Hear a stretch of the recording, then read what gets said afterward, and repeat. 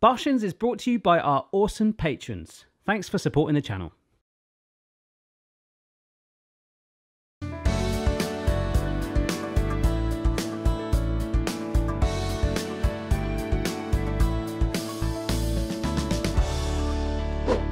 Barshens!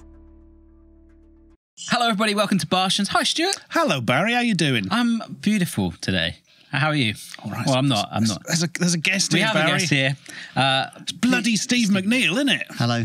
Hello. How are you doing? I'm all right. How are you?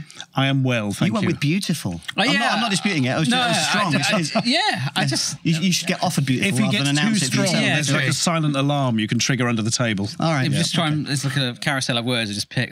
Yeah, beautiful was. You look yeah. beauti- I'm not saying you're- you're beautiful. Thank you. You too. I see, I've only just met you. Two out of three. How are you? Yeah, yeah, yeah, are you beautiful? Not at the moment, but you are, and that's what's Oh, important. that's very, very sweet. Yeah. and you're beautiful to someone.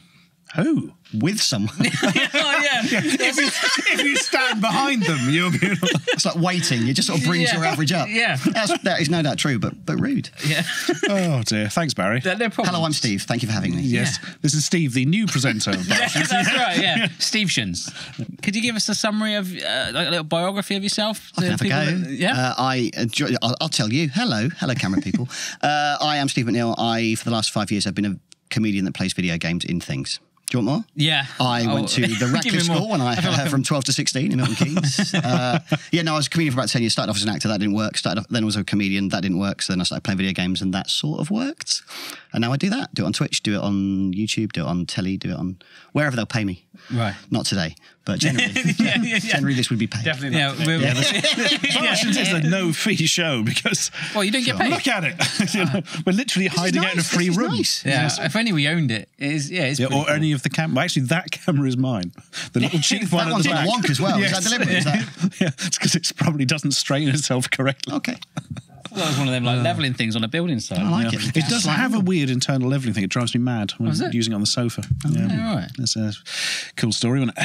Yeah. Should we uh, Yes. start with the sharticle? Certainly. All right. I've heard of these.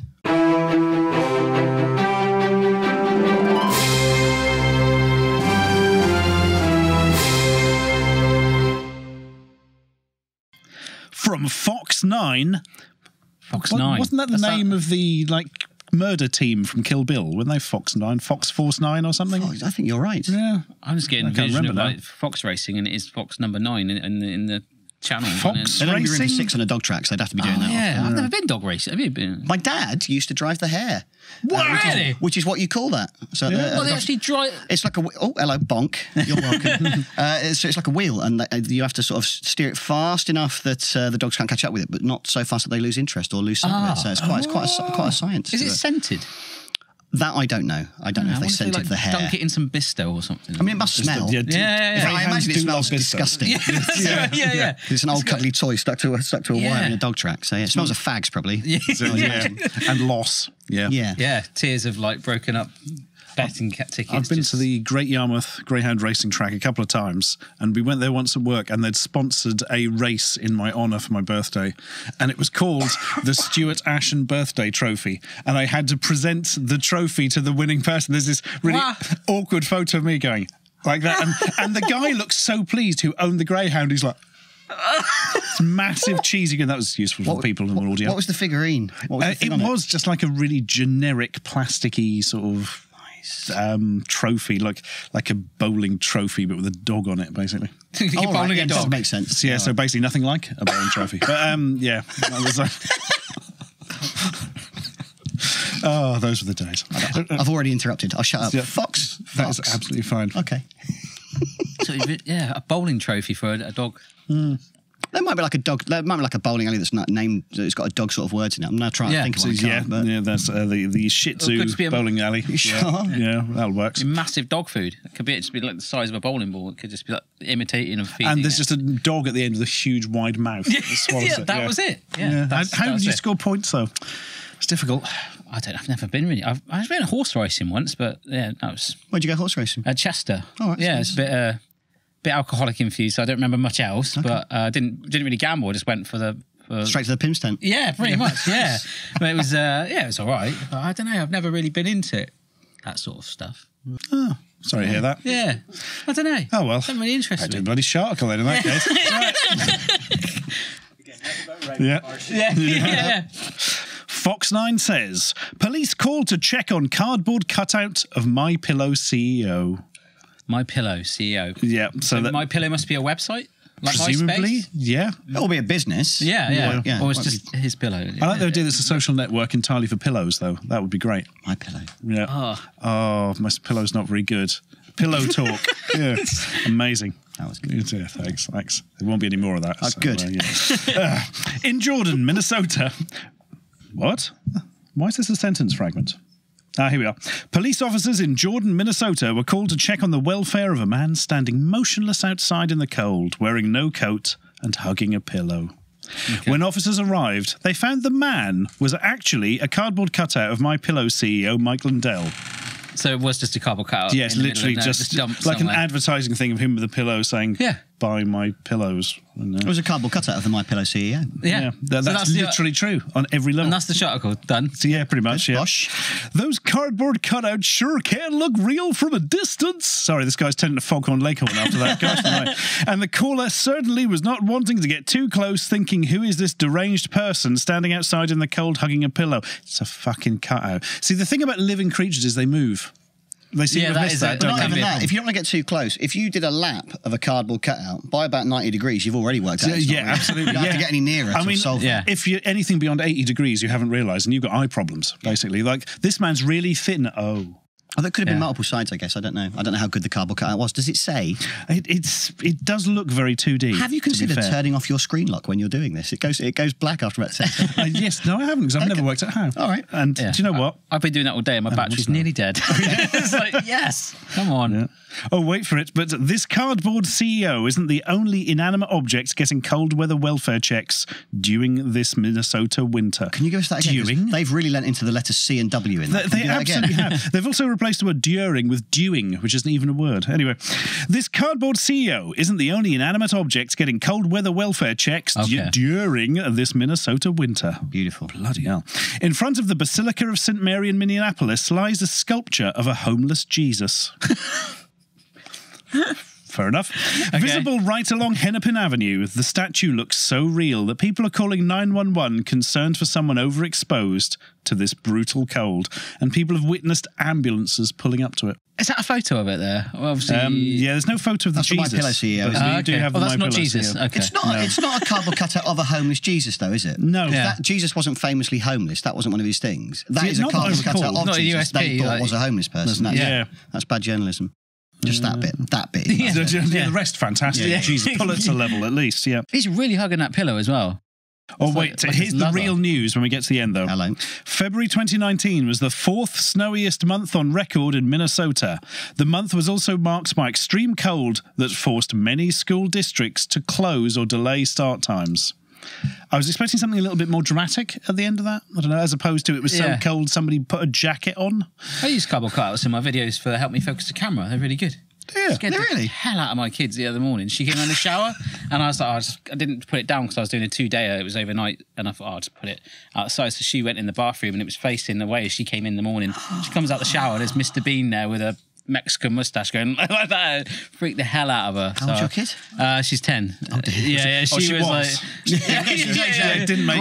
now. Yeah, Yeah, yeah, yeah, sure. So it was yeah, Homer Simpson, uh, the Queen, Mr. Bean, all different ones like that. But I just literally because I'm self. What are you making? Oh no, just to help me um, focus the camera. Oh, right, oh, so if I okay, put the okay. tripod where I'm going to stand, I'll focus it and I'll move out the way, Right, and then right, half right. the time it don't work. So, Yeah, yeah. but uh, yeah, they become characters, and it's just like yeah, it's scary, like Home Alone, isn't it? How we used them to make them look like characters and things like that. You stick them on a record player. Yeah. Yeah, bit the new string. version of Yeah. CCTV, you don't need that. You just have a train set with a cardboard cutout on it going around. That was. But w- is there a particularly effective cardboard cutout for that? I mean, you want somebody intimidating as opposed to. Well, I don't did know. have Michael Jackson. One. Well, Yeah. now that'd be better for the job that Yeah, well, possibly, yeah, keep everyone away, wouldn't it? Yeah, Yeah. yeah, absolutely. That's the answer, isn't it? Yeah. Just a room full of Michael Jacksons going around on a train. Oh, I mean, Nobody would go in there. Uh, No, yeah, I'm scared now. Did you see As you that, should Doc? be. Like- no, I've No. not. I've, I've heard it's quite. We don't have to talk about that. now. No, No, no, we don't. no. Please, let's uh, not. No, no. Let's go back to cardboard. Ca- I actually went in my office the other week, and the guys from Did You Know Gaming had got hold of a Dwayne the Rock Johnson cutout from a recent film and just stuck it in my office and I opened the door and gave me a fucking. But heart yeah, attack. they are. So Yeah. like if you look at it straight away, you do think Yeah. we had one behind the fridge as well the other day. You shut the door for it. Does, every, does everybody spend lots of time with cardboard cutters? Because I've never been near one really, Really? other than at a cinema. Really? you guys have got them well, your house. you can Unfortunately, now you've been here, you will be infected by think- the Yeah, like cardboard in the next two weeks, I'm going to see hundreds of. Okay. Yes. In fact, Yeah. no one leaves Parsons a really house. rubbish- yeah. Like a rubbish version of the ring. Now you've told me that. Yeah, all right. you just see a cardboard cutout. Yeah, yeah. Oh, Oh, seven days. yeah. Oh, that was, a that was cardboard oh, ring. fair enough. Yeah. Oh, dear So that no, they didn't find out who planted it there. No, it's just, I don't know. literally- What, they didn't even seem to care. What what sort of police force is that? There's no resolution to that, is there? there really isn't. It is a peak article. Okay. So, Steve, you're a streamer now for the. is, is, well, not right now. But speaking but, of- yeah, yeah, speaking of cardboard cutouts. You, yeah, Yeah. all right. Uh, yes, I, I am. I, st- yeah, I stream on Twitch a few times a week. N- Not full time because I'm doing other stuff, but I've been lucky. I've managed to fit it around other stuff. So I do it a couple of times at like lunchtime and then Yeah. in the evenings. But uh, We're in the same Twitch clan. we're a little Twitch gang, aren't we? It's not really taken Twitch off. I. I couldn't be bothered to do anything with it other than create it, so it's not really become a thing. How does that mean then, a Twitch clan? It What- doesn't. what- I mean, it's literally a list and Oh, we're really? on it. yeah, but, I, I think if, like if I'm not streaming and people go to my channel, it shows one of the yeah, other we guys sort of also or host each other and they can It's- see yeah, they look at other people. it. So, yeah. Oh right, is that what you do with Mensky as well? Sometimes, so like, well, I think I was at yours, and he's like, "Oh, he can take over my channel now" or something like that. Yes. Ah, that's quite he clever. really does. So you can sort of share audiences and stuff like that. yeah, so they That's pop in the and plan. we're not on, then they see each other's. Yeah. yeah, yeah. So how do you?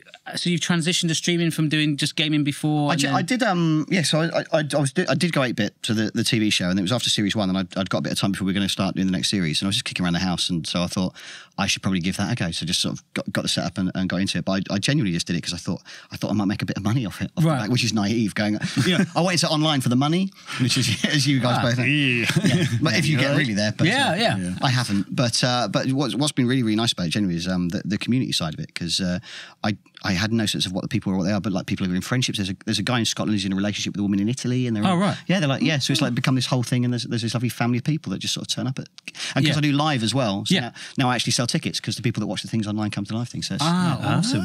yeah. So how many times a week do you stream? Do you do it every day? I do it when I can. I do it Monday, Wednesday lunchtimes. Then I do Thursday and Sunday nights. And then I've got my other thing. I do uh, Wi-Fi wars, where the people watching actually play the games on their phones, like Beam games and stuff. Yeah, yeah. So we just started doing that again, like like a little half hour thing at lunchtime on Tuesdays. I've just come from that now, and then on Wednesday nights. But Wow. yeah. But just yeah, it's, it's oh, it's nice playing games. I mean, it's yeah. stupid, isn't it? Yeah, absolutely. I mean, I, I love the whole. Have you ever sort of- done it? Have you ever? I've, I've only seen well, Stuart and I. I was at his house in Norwich, and we just he was doing a regular Twitch stream, and we sort of hopped on it, and it was quite fun. And I, I actually right. became I sort of they sort of that half sense of people watching with that community element, but then also the video game playing as well. I can see why it's very addictive, and Yeah, yeah, I mean, yeah. I've, I've always liked video games just casually to play, but you know, to get paid to do it as well is, is an absolute bonus as it's well if I- you can. but, The yeah. sort of analogy I make for people who aren't, who aren't into it is it's sort of like talk radio, but there's like video games going on in the background. Yeah, it's sort of, yeah, 'cause yeah. It is all there just typing stuff and we're having a chat. So it's very conversational. Or certainly the way I do it. I think you as well. You're sort of Yeah, keeping on the chat all the absolutely. Yeah. Yeah. So how do you like pick the games that you do? I mean, is there sort of like a particular genre that you've always enjoyed or that you focused on? Funny enough, I start, when I started off, I was trying to go, okay, I'm going to do a retro thing then, I'm going to do that, I'm going to do that. And I was, I was quite regimented about it. I was going to do different sorts of things. But actually, what's become apparent the longer I've done it is if, you, if it's not a game that you're actually into and you don't want to play, Yeah. if you're not into it, they sort of get, they get that very quickly. So now it's Mm. whatever I'm obsessed with. So I play uh, Stardew Valley because I've just got really obsessed with it. So I'm playing, I've been playing that for about 50 weeks now, just keep going back to it. every Wow, week. So the farm is good. Yeah, okay. Oh, it's an yeah, yeah. farm. Intending to it well. Right. Yeah, So so you that- find that as well then, like you got. A, Yeah, I mean, I, very I much a. do some research for my terrible old games book, so I will just sometimes play something Working to see if it's actually any good. Yeah, Yeah, yeah. it never is.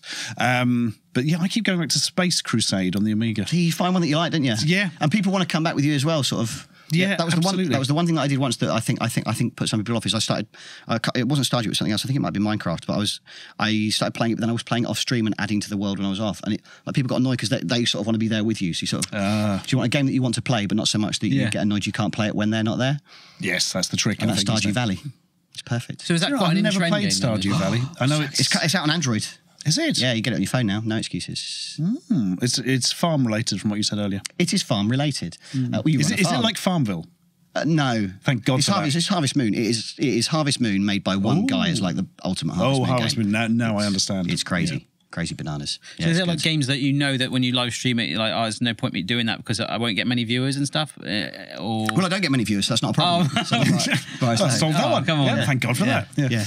Um, I don't know. It's, it's not really a good idea to jump on the popular game because everyone's bloody playing. Well, no, well, them. I've, I've, I mean, I'm sure you've got the same sort of thing as well because you're no, no offense, but you're old too, uh, and I, I, I'm, you're also old. Your, Yeah, boy, your boys say you're beautiful. Oh, well, yeah, we're all beautiful. Yeah.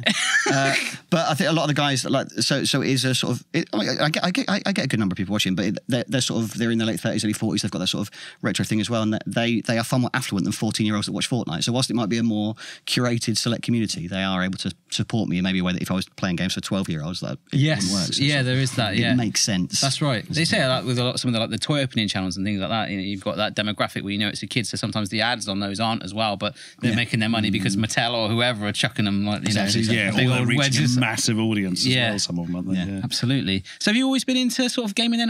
So you, you did comedy, and you know what, what did you what did you do Why- at college? and why are you doing this, Steve? yeah. Uh, like, what did what did you do at college and things like that? Like, did you always? Did you, Universities one time I was away. So when I, when I was a kid, I I always had games all the way through growing up. And then when I was at university, it, it was just alcohol for about five years. right. Where did you go to uni? Uh, Bath. Bath. Yeah. Okay. It's very yeah, nice. Yeah. Yeah. What did you get at university? I well, Bath Spa, but through Oh, Weston. that's not the real- yeah, yeah, that- yeah, that's that's point, it. Yeah, it's the Fine, po- yeah, yeah, yeah. No, that's right. Because Oh, well. I live in Weston-super-Mare. So, yeah, yeah, yeah. I mean, it, it doesn't make sense when you see me on air, to be honest. It's, uh, yeah, yeah. Uh, cooking was what I resorted to, but um, Right, right, right. no, because I live in Weston, so quite near Bath. But um, by the seaside. yeah, yeah, yeah. You still down there now? Yeah, yeah. That's that's where I come from. What's it like now? Because it was run down in the night, Oh, it still is. Yeah, okay. Oh, yeah. Well, they've done the uh, they've done the seafront a bit more, but now they call it Western Sea for Mud because everyone just goes out to the sea and it's not actually sea. You Oh, get a lot of people come down and then like they're like five minutes later they're being airlifted out because they're just like, trying to find the water, ending up walking halfway to Wales because they just I can see the sea and it fall down. So I'm going to walk out to sea and it's just literally just the mud from the Severn where it's all churned up. So they're literally walking in chocolate ice cream and then you know the hover boats come along and the helicopters lifting them out. So that's quite fun as a local to see because you're sort of sat there. Oh, Take two the dog- today. yeah, summer evening, take the dogs out. Like, let's see how many they pick up today. So that's, that's like my version of streaming, really. you know, I'll go and watch, you know, some uh, holiday makers being pulled out of the water. So, Yeah, yeah. Or the mud. Sounds yeah. sounds lovely. amazing. Yeah, yeah, absolutely. So what did you do at Bath Uni? Yeah, I did, I did a management degree at Bath, uh, which Okay. was the thing. I, at A levels, I, I it was scattergun, so I did theatre studies, math statistics, business studies, and general studies. General studies doesn't count, but I did Right. those four, so it was just nothing. And management was the idea that I don't know what I want to do, but I could do it. Like I'll need to know how to do things. So I need a job. So business is jobs. Yeah, so yeah. I did that. I remember Um, that at school. For me, they're like, "Oh, take business studies because it's the widest thing." you don't know what you're doing. Yeah, exactly. They're like, "Oh yeah, just put him over there."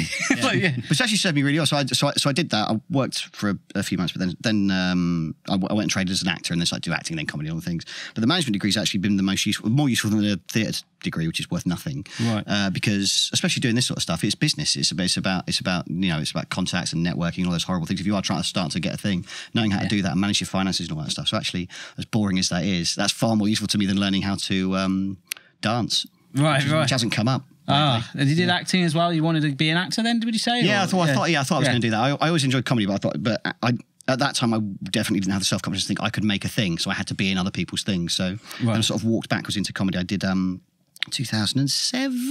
Okay. I went up. I was in a musical about the uh, anti-terror legislation in the UK. A musical about anti-terror. Very popular, Wow, uh, that's musical very subject, Yeah. Five Yeah. stars in the Guardian, but it doesn't matter. Nice. But it sounds rubbish. Uh, but it was it was actually quite good. But while I was up there to earn a bit of money, uh, comedian Brendan Burns uh, needed um, at the time it was it was going to be a black guy, an Asian woman, and a white guy to be in his show, sort of like a set piece thing. Um, and I just happened to be the only person that replied to the email, so I got ten quid ten quid a night to be in his show. Okay. But then that one it, it won what was the Perrier Award. Um, Wow, And nice. so I, I, I was sitting in the audience, and there was like a little reveal at the end. Um, but uh, I liked watching a comedian do the thing from. I thought, oh, I'll do that. So I then um, started doing sketch comedy. That was where because I thought I'm an actor and.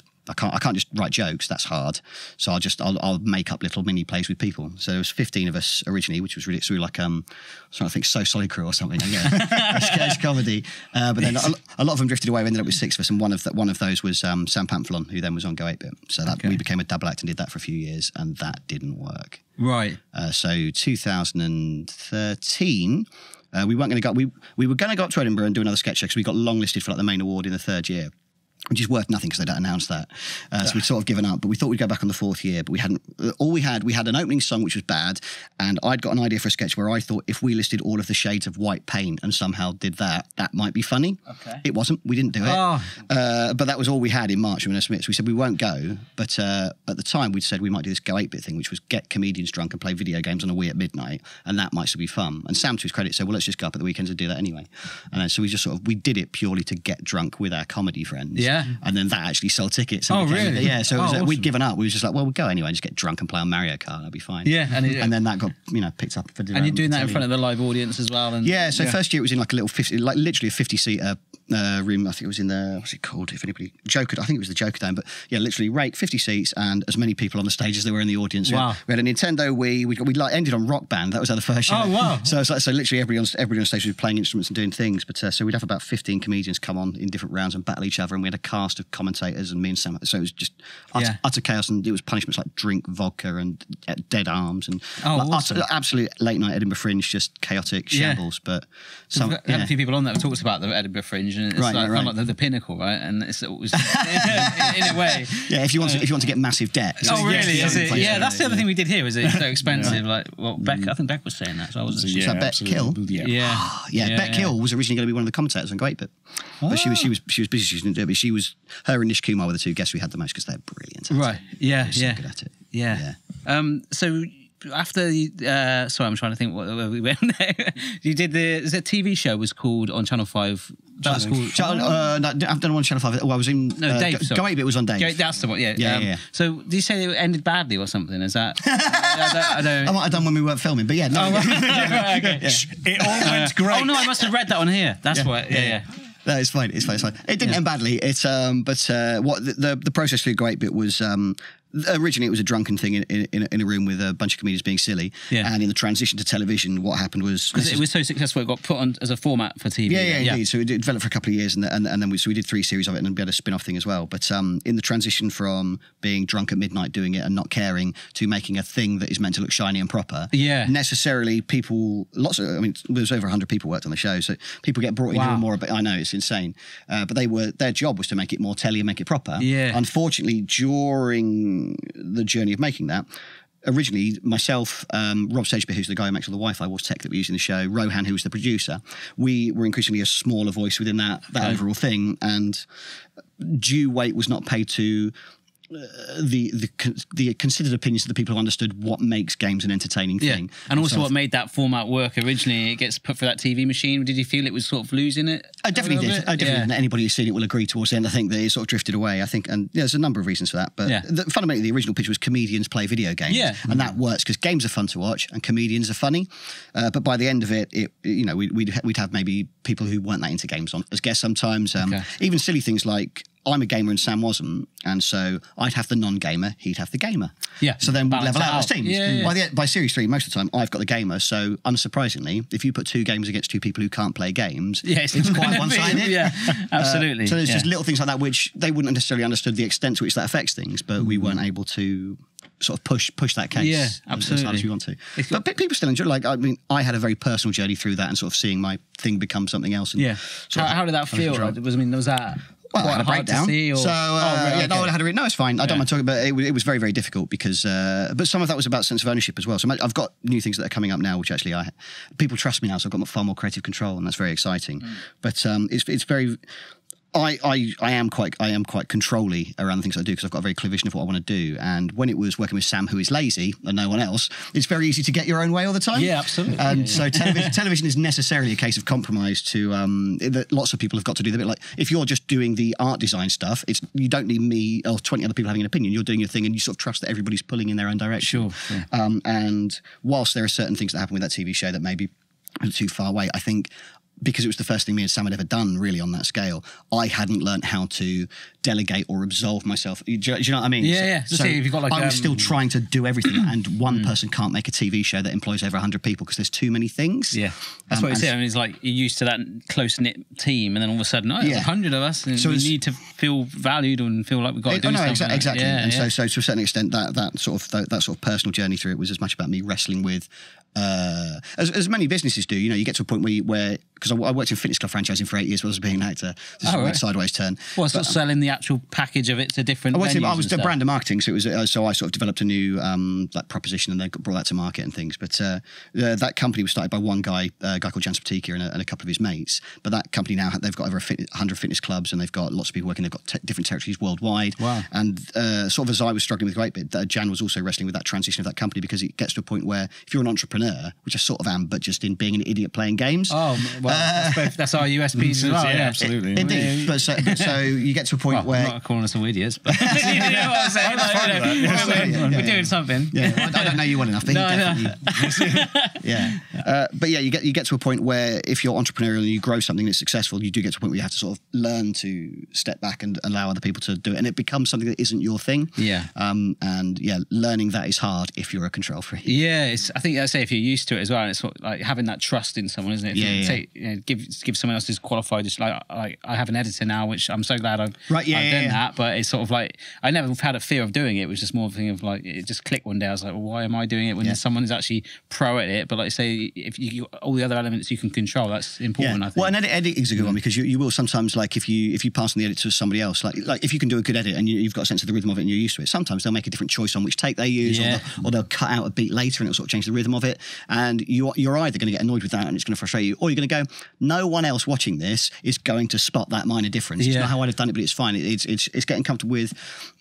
What what the hill's worth dying on because Sure. a lot of the time actually it's not affecting tangibly the, the finished product but But you imagine, can feel it yeah, it. there's that sort of transition of when you're doing it as a live show like in Edinburgh or something like that, and then not only is it not live, it's like on TV, Yeah. Mm-hmm. edited, polished. You know, you got I don't know the TV guys are want to get their certain key demographics in and things like that. Exactly, And like, say these non-gaming people that are coming on Yeah. just because they're probably thinking it's going to hit a different genre, maybe. No, they weren't, and, they- and, yeah. and they weren't wrong. You know, that, that show did that. I mean, it, it was marketed less later, and so so the, sort of the numbers tailed off a little bit. It still did very well, but um, they were trying to make a specific thing for what they understand their demographic to be for that channel, and I, and they successfully did it because it was very successful.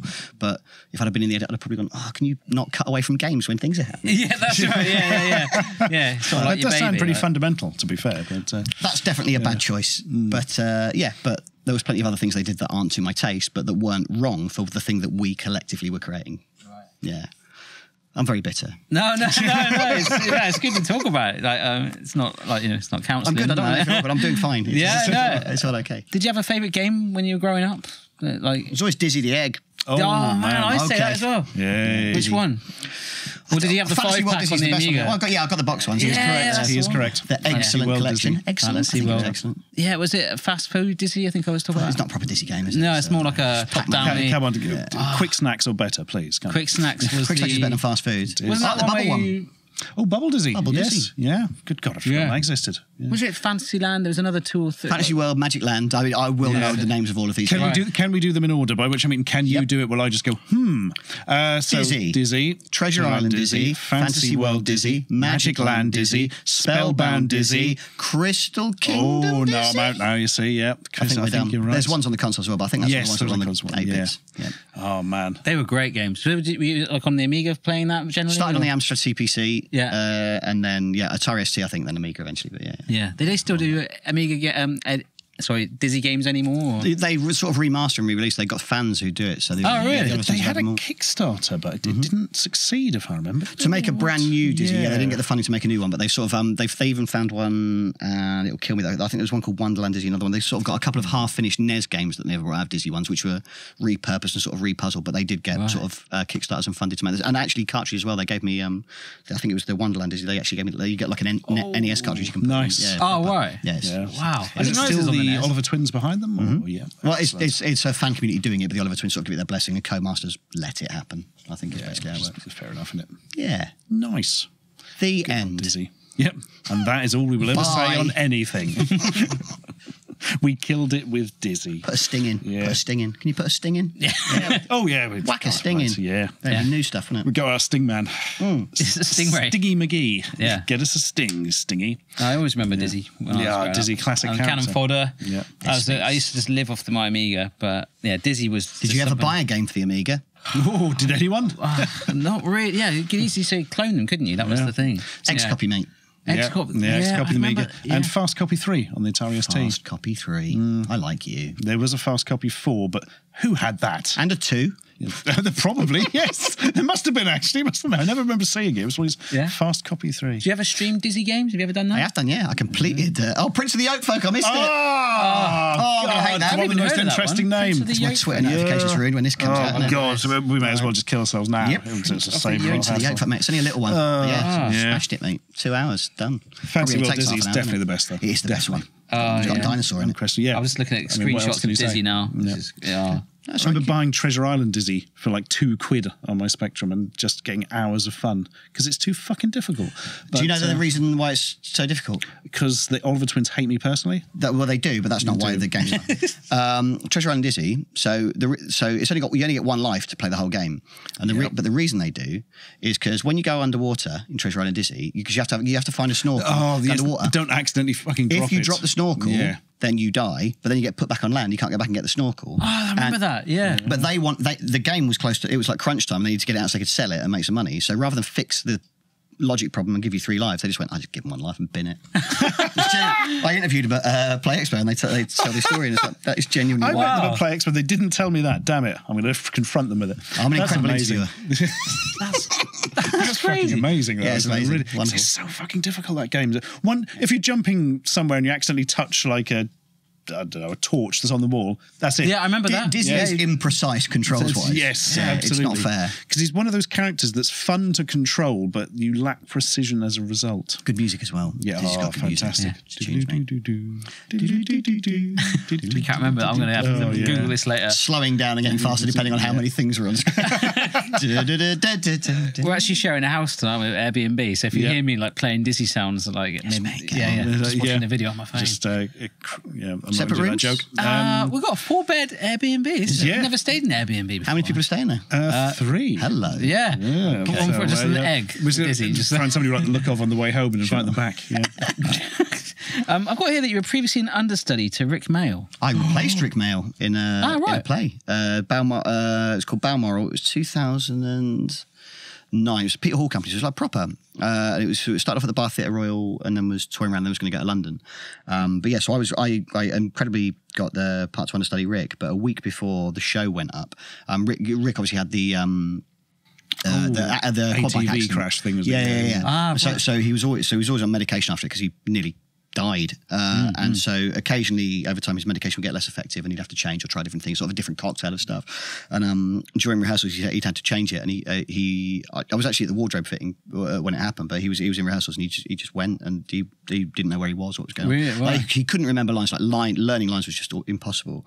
Um, but yeah, so. Um, so he, so, so he had like a turn or whatever, um, and had to had to go. But then over the next couple of days, it became apparent that he couldn't come back, so it was going Right. to get better. So uh, instead of uh, the uh, Rik Mayall led uh, Michael Frayn play revival, they Right. got me instead. Oh, great, yeah. the entire thing. Well, we'll Well, well, not for yeah bad reasons for it. But I got mean, nice reviews. Yeah. The show didn't last as long as it might have done if uh, Rik Mayall had been in because it was very much about him. But no, it was it was amazing because I got um he, he couldn't learn lines and obviously I was understudying him, so we did get like um I had a foot uh, got to work with him a lot, which was amazing. Yeah, I was gonna ask, co- like, what comedy he was like. Yeah, Oh, yeah. incredible. I mean, he's filthy, but amazing. Right, yeah, yeah. But somehow it was like I don't I don't want to you know No, no. me to it, but just somehow in a charming way. It was he he he, he, he, sort, he sort of tread that line quite nice. But yeah, I got to spend an entire day uh, the the Saturday before the Monday when he he left. We had a full day just in the rehearsal room, just the two of us, just sort of working on our character and running lines and uh, Right. yeah, just making Rik Mayall laugh. Yeah, just kind of like handing it That's, uh, over effectively. Oh mate, it was Yeah. insane. Just uh, yeah, if you can make that man laugh, it's a beautiful thing. Yeah. so it's, uh, yeah. I always wonder what he was like. I mean, I'm, didn't get. He was I really filthy. wanted to see He was- bottom. he was filthy. Really, all the time. Yeah. Just like wow. I've seen like little clips of him like like in a real sort of Yeah. posh dinner, like sort of Yeah. like camera catching his eye and sort of doing some. He's amazing, but, very, but very, very, um, very caring, very, empath- very empathetic, and very, yeah, he was really. Right. I think, uh, although I think some of the some of the other cast, I think found him quite hard work, but uh, my, I was already doing comedy by that point. I think like having a comedian in the room as well. So I think there was sort of a, Yeah. oh, you're, Okay. yeah. I mean, yeah, it wasn't yeah. one of us because I was new. I was nowhere near as good as Rick. Well, I'm, I will never be as good as Rik Mayall. Oh, I mean, he's- But, uh, he, he, he liked having somebody who you could sort of riff with and have a bit of fun with rather than Sure. actors. Yeah, yeah, which absolutely. are different.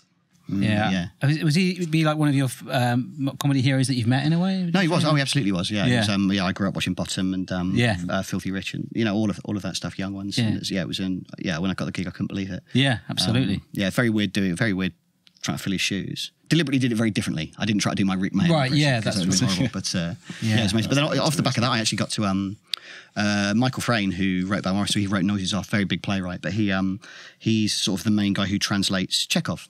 Uh, into English, and I actually, off the back of doing that play, him and uh, the the director brought me in to do like the world premiere Oh, of a translation of a Chekhov piece. So I got I got to do the world premiere of a Chekhov piece created by Michael Frayn to it's like at Wow. the Hampstead Theatre for like a celebration thing. That was uh, Michael Frayn's an amazing, incredible. He wrote um, oh, what's the one? Uh, uh, Clockwise, John. John Oh, John Cleese. That, he wrote that movie. Uh, so like, Oh, Wow. Clockwise. yeah, yeah, no, another comedy gods. Um, and so he actually asked me to perform this. Wow. And, like you don't get many Chekhov premieres. So No, no. No, that was, that was probably as um Yeah. as a special thing. And then I got no more acting work, so now I do this. Oh. Well, it says here you got um, esports streamer of the year It's nomination. Is it? Wow. Yeah, yeah, which is weird because I, this. don't do that. right. I, I, I think I think the way that one worked is there was, so so because I just started streaming, so I think that, I think an awards thing came up and it's like oh it says streamer in it and like uh, so I sort of put it out there oh great this may be a thing and somebody nominated me for it and I can only assume that the uh, screening process was so slack that they went yeah he seems to be on Twitch we'll give him it but I you know I play Stardew Valley and Minecraft I don't do League Right. of Legends but yeah no I'm I'm I'm a nominated esports person Okay. That's quite a big thing now, isn't it? especially given I've never done it it's uh, yeah, that's it. that's how good I am You might win it this year. You never know. I yeah, have. yeah. Also, yeah. yeah. Hope. So well done. Right. So, would, would you ever do esports then? If you think, yeah, I do a lot of work with ESL, um, so I'm working more with those guys, working with James, who runs uh, the UK thing, and um, I, I, I like those games. I'd never be able to do it, but I, I presented a couple of sort of sillier things. We did something, um, Pringles Battle Couch. All right. it was ridiculous. We, so we got uh, it's in the Printworks. in Surrey Quays did this last month, and they um, they it, like insane scale. So they they got this hundred meter long room, built a seventy meter long sofa in it, and flew hundred gamers who I guess they'd won like a Pringles competition, Wow. but from like Russia, Germany, Italy, Spain, flew morning to sit on this so hundred person sofa, all playing uh, Rainbow Six Siege against each other, and then they sort of knocked them out and ended, up with one person winning on like Tekken, I think was the last game. But so so I tend to get brought in for the stupid things that involve esports things rather than. Uh, So you were comparing that then? or- hosting, yeah. Oh, So yeah. okay. I did a charity thing for the beginning. You've got a couple of things coming up. Maybe I shouldn't say what those things are. it's, it's going great. Yeah, no, no. Those are things I can't tell you about, but it's, No, it's no. all good. I just love the fact that you were nominated for an award that Mr. okay. Esports, mate. Mr. Yeah, Esports. that's right. Yeah, that's me. Okay. Uh, you regular podcast, Let's Do a Gaming. Yeah, that's yeah. That, And you've been on that shit. Yeah, I have. Yeah, yeah. We did a gaming. We did a great. gaming. We did What do a game did you do? No, we just had a chat, didn't we? It's like it's like this, but with one less person. Okay. Yeah, Yeah. that's better. There's no game. We'll talk, we'll talk afterwards. yeah, yeah, yeah. Uh, yeah, so I just uh, what I've tried. To, it, it- the weird thing again, it was with the online thing, and sort of talked about the affluence of the people that seem to enjoy what I do. And um, I set up a Patreon uh, thing for my YouTube stuff, and uh, the idea was, oh, if I hit this milestone, then I'll start making a podcast once a month and do a thing. I didn't think they'd actually give me as much money as they did. I didn't think I'd have to do it, but then they did immediately.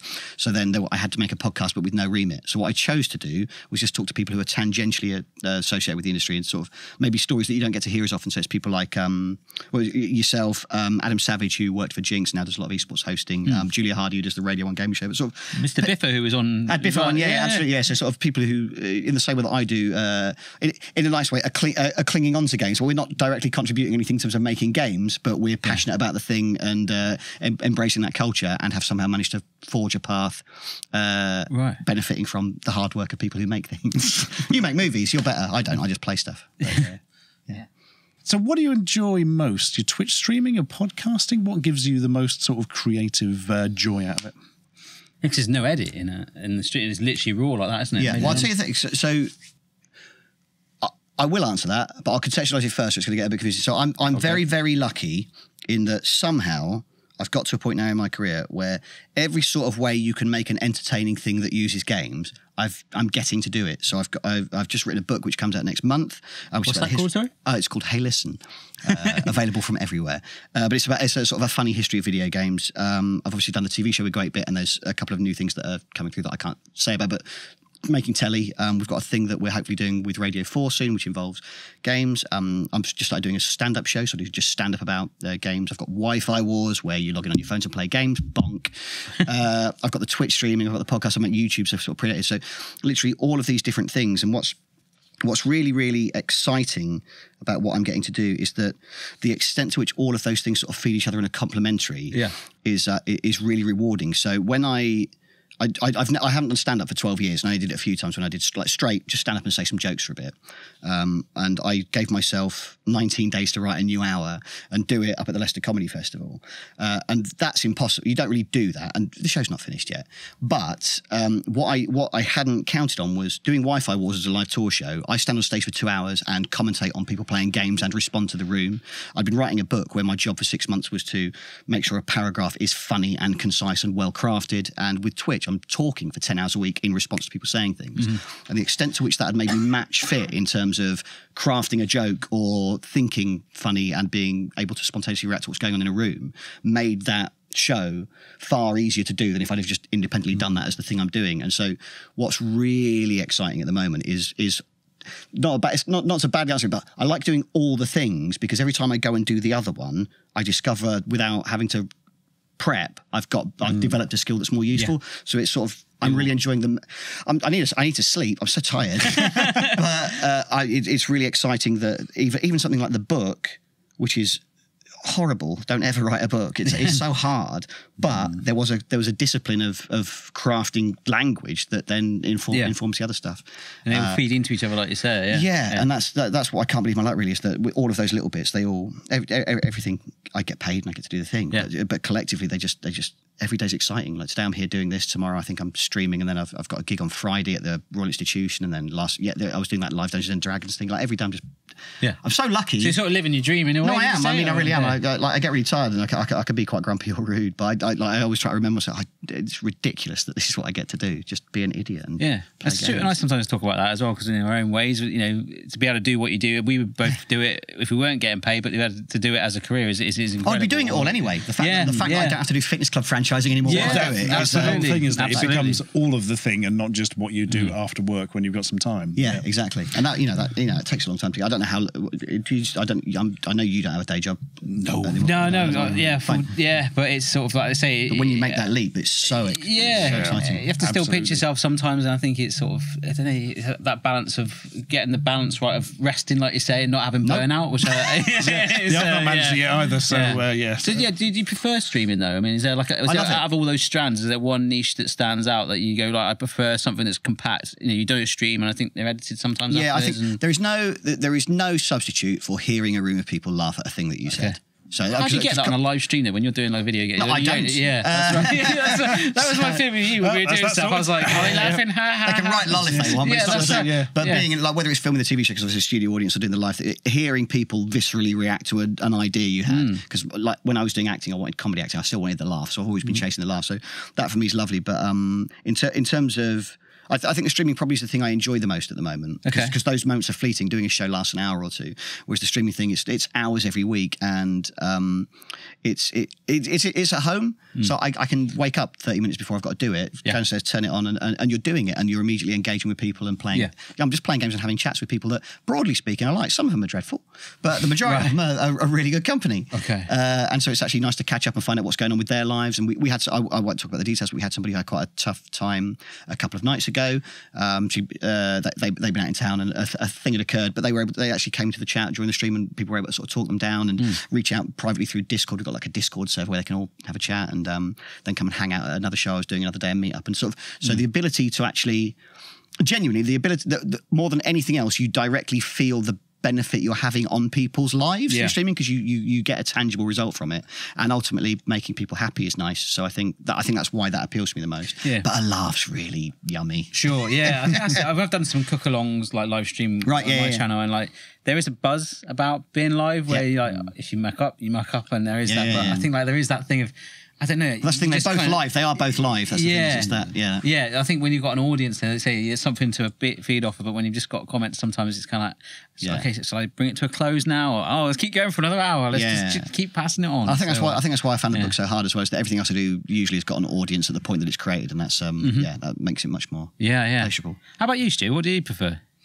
Because you do, Hmm. you've really got into streaming the last sort of. Yeah, I do enjoy the stream, but I don't do massive amounts of it. I'm Do one a week, once a week. Yeah, Yeah. Um, I still enjoy the YouTube stuff as well. I did enjoy writing the books. Yeah. Enjoyed you? Writing the books, yeah. But mine was a different. Mine, yours is a very sort of coherent from A to B, this is the story of gaming, whereas mine's much more episodic, as in here's hmm. one game, here's another game. So if I change anything, it doesn't involve changing everything else as well, Yeah, yeah, yeah. which makes things a lot easier. Sketches hmm. rather than a movie sort of thing. Yeah, exactly. Yeah, Yeah, yeah, precisely. Um, and I really like the research for it. Just digging through these terrible old games. You're right. Yeah, yeah, yeah, that kind sure. of stuff, and you know, going through the magazines and finding out a little bit of extra info on it. and all Well, the thing is, because you are genuinely passionate about it, it's nice to find hmm. out. Like, I, I mean, the book nearly killed me because it was so, it's, it's really hard writing a book. yeah, and it's really, you know, it's proper bloody comprehensive. It's really long. you I've there's read every text. book there is about games and tried to weave a comprehensive narrative through the chaos of games for 25 years, and it was hard. Yeah. but So is that what your book's about? Because you Oh, it's literally it? it's- Yeah. my, my book literally goes from the uh, well, it starts at Bagatelle.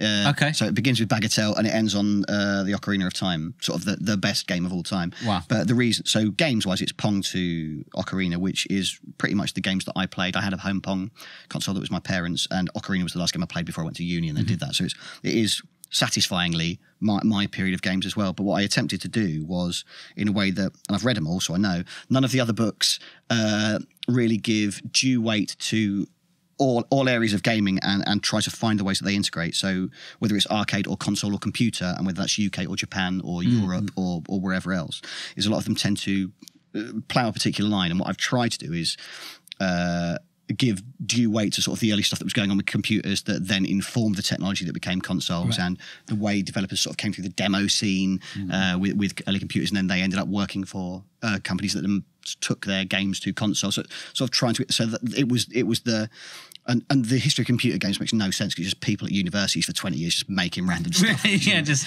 So sat with loads of crisps around them, like, Yeah. like Dave, David Doak, right? So what was yeah. saying, the guy who did GoldenEye. Right, yeah, we, yeah, we had him on, and yeah, he said he just sort of like forage away for like Yeah. sixty hours, and the, the cleaner just comes in and they grab a coffee off the lady on the car, and Yeah, it's just like full on. Like, But that was that was the thing is Yeah. trying to trying to find commonality through it and a sense of structure that didn't make that overwhelming or feel too uh, messy. So try, trying to do that cleanly, whilst also then trying to make it funny Right. as well. But I, I, I, I, I mean, I'll find out when it comes out because people tell me on Amazon. But I think it's it's a it's a it's fun and it's a light read. Uh, if if you're into games, I think you'll enjoy it. But it. I've, I, I hope it's comprehensive. I feel like if you wanted to know the history of games, I think at the end of it, as well as hopefully enjoying, it absolutely your- well, well, you've had a look at it, and thank you. But um, yeah, it's proper. Like if, if you were doing a, a, course and you got to learn about the history of games, if you were doing like a game design thing or something, I think if you've got to read one book, but you can't, you don't want to read a really boring book. I think I think I, I can give you it without it feeling Yeah, it's like a resource too much. It's like yeah, yeah, Yeah. I hope so. I'd really I'd really like that because I How long did it take you to write it? six months. Really? Yeah. That's pretty short for a book of It's that pretty short, and also like, um, uh, uh, me, me and my family had a very tough year last year, so there was lots of things going on personally that made it very difficult. So it was sort of doing it with no sleep and stressed and, and lots of other things. So And still maintaining your other work as well. and still doing everything else. Yeah, you still got to do the streams, and you got yeah, there's Right. like pitching stuff, uh, or the stuff that is now paying off, whether it's online or radio or telly, and sort of so yeah, and live shows as well. So Yeah. yeah, it was, yeah, it was um, a juggling act. So have you got a, a sequel to the book lined up potentially based Well, this on well. I was talking to you about this or- before we came out. Is, is the problem? Like, I hope it does really, really well. The problem is if it does really well, they'll want me to make another one, and I don't want to do one Right? yeah, that's it. because it's Yeah. really hard. Uh, but uh, they'll offer me more money, and I I need get that. ghostwriters. That's what most of the YouTube people do. Yes. Um, we know who you are.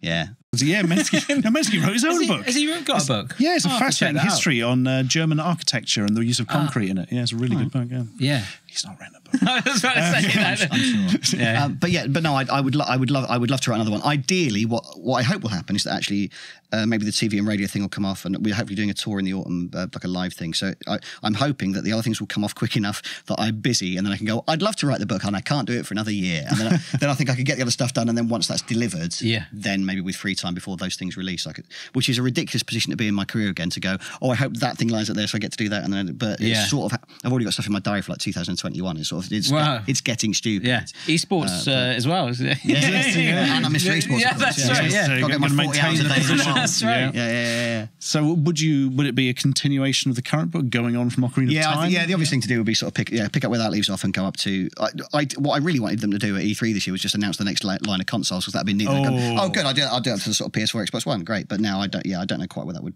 timeline would be. Do it from Ocarina of Time to Majora's Mask. It would just be ridiculously over detailed. Yeah, That would be great. Just a pamphlet. I'll do a pamphlet. Yes, yeah.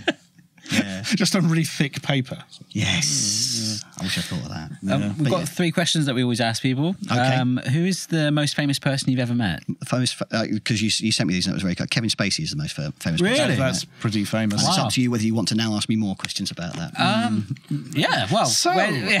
how did you find the famous actor and in no way disgraced personality Kevin Spacey? He was absolutely fine, uh, which in a way is an insult to me, unfortunately. But uh, we, uh, yeah, I, I did uh, when I, I lived out in Texas. Uh, I was because I, I did a management degree. So we sort of You lived in. Texas? I lived in Austin. Yeah. Oh, yeah. So awesome. I studied there for like four, four or five months. Did you ever go to the Big Texan? Uh, as in Texas, there's a place where there's like huge eating challenges and stuff. No. I, when I went past, I literally skimmed through the Me top neither. of Texas. God. Yeah. I mean, it's pretty big, Texas, right? But It's very, very big. Yeah, yeah. I skimmed just the top of it when I Yeah, drove no, across. I, and, did uh, bits of it. Right, right. Forget that. Sorry. they um they when I was there so because I was I was really sort of doing like amateur dramatics at university and things and and they were um a notice went up at the at the uh, university for uh, extras for I think it was I can't remember what it was called. The life of David Gale. So Okay. called Kevin Spacey's blockbuster hit the life of David Gale. Uh, I think it was Laura Linney we said on it but they just wanted a bunch of people to be at a protest. So it was just like turn up and you yeah you had, you had to audition just to go and sit in the field for the day. Went to that but he was he was very, he was it sounds like obviously he's bad and he's done loads of bad things. On that day, he made an effort to just sort of talk to people while they were on set and sort of set. So you just sort of said hello and like, Yeah. how are you doing? Of Yeah, chat. And very friendly. He's not nice, Right. uh, but I thought it was all alleged. It was, it's all oh, is it? all- All right, he might be nice. Yeah, I don't know. yeah. He's allegedly nice. He can sue me. I've got no money. It's Yeah. fine. Come at me. Um, can I call Kevin Spacey out on this? I think you already have, because he's here tonight. oh no. Yeah. because he's not allowed out of the country. Fine. We'll go with allegedly until someone Yeah. tells me different. But no, I wasn't yeah. sure where that. Yeah, that. But the most famous famous person I've met is Kevin Spacey. Right, and I, I mean, from a British perspective, like you say, Rik Mayall. I mean, that's insane. I would love to have met Rik Mayall. Yeah, Like, it sure. Well, like see, with such Guy a- I've been like, I mean, like, you know, I met Jonathan Ross and obviously Darren. There's lots of famous people Mm. that I've met through what I do. But um, yeah, I suppose Kevin Spacey's in movies, and movies are the best one, aren't they? Yeah, I guess the they're the- that's the rule, yeah. isn't it, with fame. Is that- yeah, I think, that's so. It's right. like- Him then the Queen. Yeah, yeah, that's right. Yeah. Um, have you ever been in a local newspaper? I've been, yeah, well, yes, yes, I the have. esports champion, No, in the local that's right, newspaper. yeah. Uh, I mean, like amateur dramatics have been lots. The the the probably the the favourite one to go for for the purposes of this is uh, I was uh, in the Milton Keynes Citizen uh, uh, for when working at that fitness club franchise in the early days. I was uh, Office Angels temporary employee of the month. Ah, Nice. Yeah, which I which I actually got two months after I was in Brenda's show, which won the Perrier. So that was sort of a, Oh, a, that's a lovely nice signal of how well my life wasn't going. Uh, so so good. That's showbiz in a nutshell, really, isn't it? It's like, yeah, no, I've won, I've won the Perrier. yeah, yeah. I'm the temp. that's Is that paper in, a photo in the paper as well? Yeah, I've got the photo in there. Yeah, mate. that's no, what that's the that's what we want. Um, and the most embarrassing situation you've ever, ever been in? Are there many or a couple? Or? Well, yeah, I mean, I'm a comedian. My life is shame. so, I I I- my, my skin is very thick. Um, when when I, the, the first one, I, the first one I sort of remember really embarrassing is when I was a kid in um, school play, which I imagine school play comes up a lot.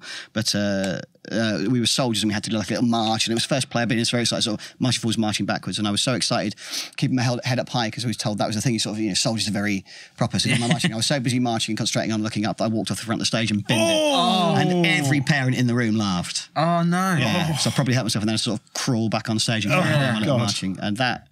It's yeah. like you've been framed somewhere, maybe. yeah, yeah, yeah, yeah.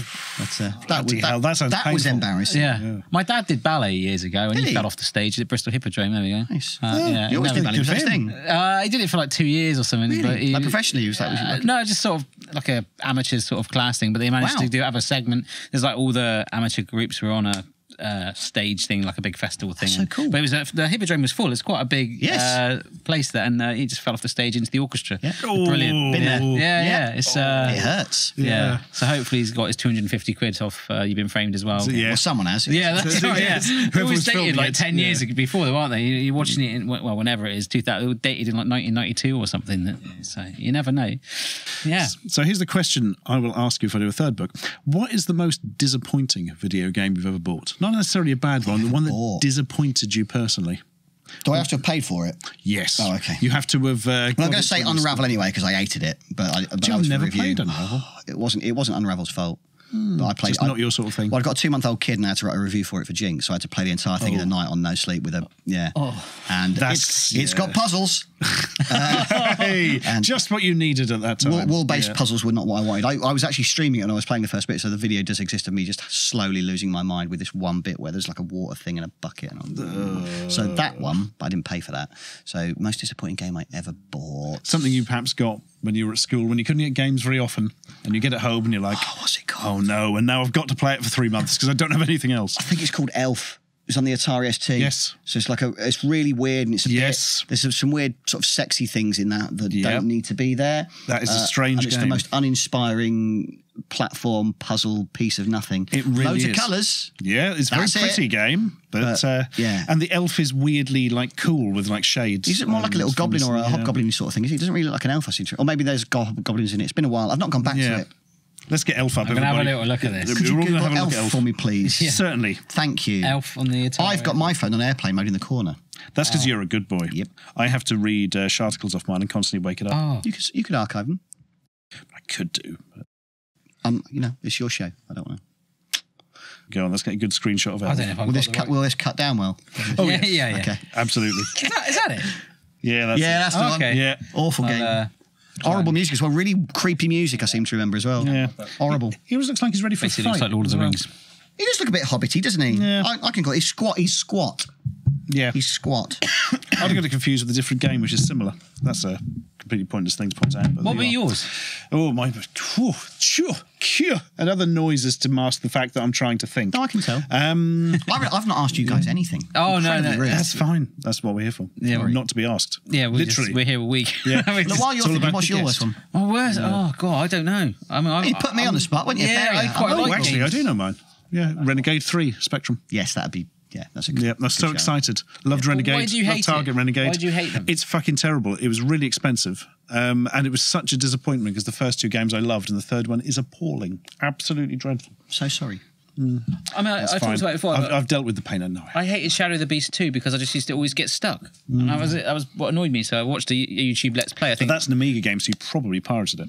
yeah, I pro- Yeah, I you didn't did pay for that. Yeah, did you? yeah, yeah. no. Shadow of the Beast too. Um, I mean, everybody played it. One person bought it, and that was the guy who sold it to the Kraken crew. My mum bought me Parappa the Rapper, so I didn't technically buy that, Kick, and I hated punch. that. Yeah, It's it was like a dance, one of the first ever dancing games on the Yeah. PlayStation. But no, I, Not into it. no, I really liked Sensible Soccer and Cannon Fodder. That was what I loved, and You're a Dizzy. sensible and- software man. yeah, I was, and Championship Manager years playing Did you ever have sensible train spotting? I've not met anyone who's actually played it yet. Yeah, that was on cover disc. Yeah, that was. what was that? uh, so it was like the same. Trains go past and you tick them off. yeah, And that's it. There's- You just there's press a button. Six big buttons with train numbers, and you sort of. Yeah. Wow. That was that one. Okay, And that you would wait be- again. And Yeah, that was ripped the- off by a company, wasn't it?